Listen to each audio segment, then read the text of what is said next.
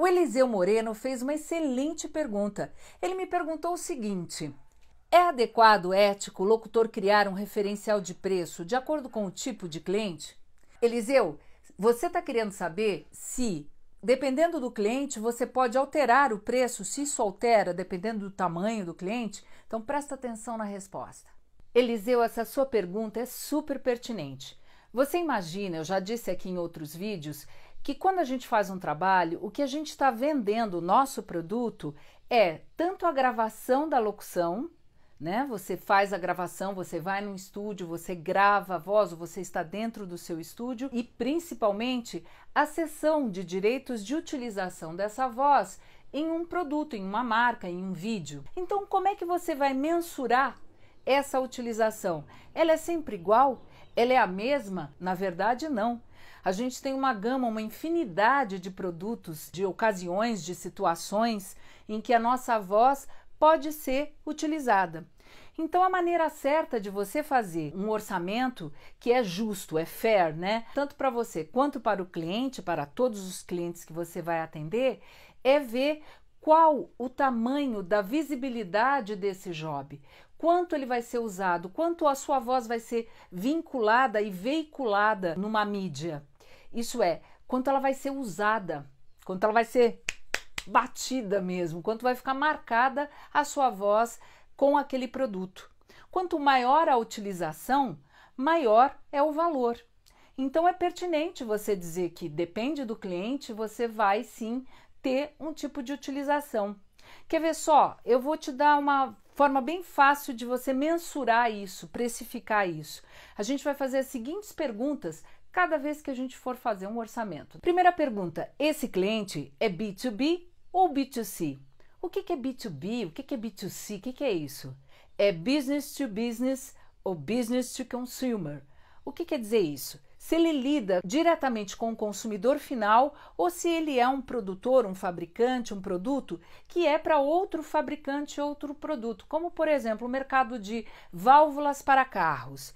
Ele dificilmente fala com o consumidor final. De vez em quando tem uma propaganda que vai para o consumidor final, mas geralmente ele está fazendo um vídeo que, por mais que seja na internet, ele vai focar o cliente dele. Então ele é um cliente B2B. Isso já reduz o público dele. Então, se você vai fazer uma peça para ele, seja uma URA de atendimento telefônico, você já sabe que quem vai ligar para lá são clientes, é um público focado, é um público reduzido, é um nicho de mercado. Agora, se você grava uma URA para um produto de consumo final, de alimentação, de bebida, de isotônico, já é outro valor. Mesmo uma URA para um cliente B2C, né, que é uma empresa que tem um produto geralmente, pode ser uma prestadora de serviços de internet, de telefonia, de TV a cabo, ela vai ter um volume de ligações na URA dela gigantesca. A sua voz com certeza vai ser ouvida todo dia por milhões de pessoas.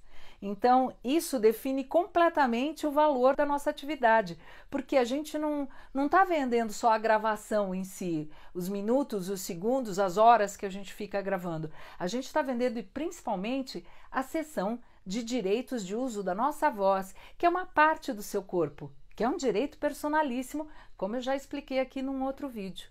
Então, essa é a primeira pergunta. Agora vamos para a segunda pergunta. Esta peça vai ser utilizada em que mídias?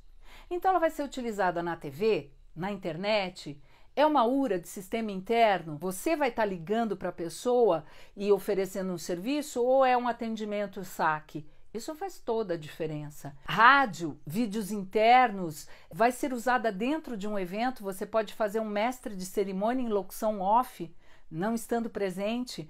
Então, tudo isso é medido de que forma? qual é o veículo. Primeiro, aquilo que a gente falou, quantas pessoas vão ser impactadas, qual o alcance disso no público geral. Segundo, qual é a mídia que vai ser utilizada, porque você já sabe que pela TV é grande público. Pela internet você pode direcionar e pode ser grande público. Você já sabe, pelo rádio, você também já sabe qual é o tipo de público. Então a mídia é importantíssima e cada mídia tem um valor. A televisão ainda é um, um valor mais alto, mas a mídia de internet hoje também alcança milhões de pessoas numa propaganda, numa publicidade que seja muito boa, seja bem feita. Então, essa é a segunda pergunta que você tem que fazer para mensurar, para precificar essa sessão de direitos de utilização. Vamos para a terceira pergunta. Quanto tempo de utilização dessa peça? Isso é, se ela vai para TV ou internet ou rádio, por quanto tempo? Um mês, uma semana, um dia, um ano, dez anos, cinco anos? Isso faz toda a diferença, porque você tem um uso determinado dessa peça e quanto mais tempo você ceder essa peça, maior o valor da sua prestação de serviço e da cessão de direitos conexos dessa peça. E dependendo da utilização disso, você também muda a precificação do trabalho que você está fazendo. E ainda temos mais a quarta pergunta: qual é o local que vai ser veiculada essa peça? Ela é uma peça, se ela é de rádio, ela é regional, ela vai ser numa cidade, numa localidade. Então, quando a gente diz que é uma utilização local, é porque ela é de uma cidade ou de pequenas regiões, de pequenas cidades. Quando a gente fala que ela é regional, é porque ela pega uma região maior, estados. Então, você tem os diversos estados. E quando ela pega âmbito nacional, é o país inteiro. E tem até o âmbito continental, quando você vende a utilização por continente. Aqui no Brasil é mais difícil acontecer esse tipo de job, porque o português não é uma língua tão usada fora do nosso mercado nacional. Mas acontece sim, porque hoje o mundo está ficando pequeno e as pessoas querem ter o produto ou o comercial em todas as línguas. E você pode ser consultado sim por uma agência internacional pedindo a utilização em vários continentes. Então, quando você tem esse tipo de pedido, você tem que saber. Ah, vai ser só numa cidade? Quantos habitantes tem essa cidade? Isso é outra medida que depende muito do cliente e de todas essas perguntas que a gente está vendo aqui. Qual é a praça? É importantíssimo também para você ter o contexto todo do seu preço. Deu para responder a sua pergunta? É isso. Eu espero ter respondido a sua pergunta. E gente, vamos lá.